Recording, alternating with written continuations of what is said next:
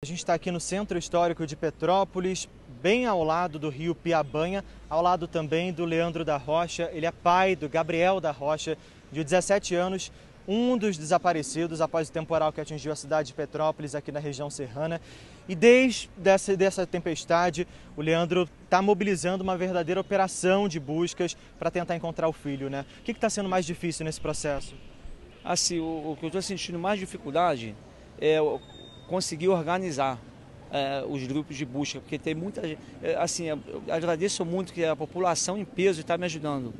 Estão todos vindo aqui, estão me, me, me abraçando, me dando força, né? muita gente ajudando. Eu estou tendo um pouco de dificuldade nessa, nessa questão, porque esse rio é muito extenso. E assim, eu, assim a dificuldade que eu estou achando é que tem, não tem gente suficiente. Eu, preciso, eu precisaria de mais pessoas, mais gente para vir me ajudar aqui e ajudar todos nós, né?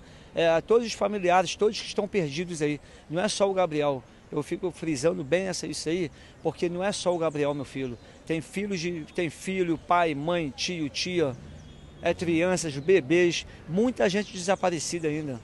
Então é, eu faço um apelo aqui ao governo federal para ele mandar um uma, uma ajuda, uma, é, é, vir pessoas, a gente precisa de pessoas.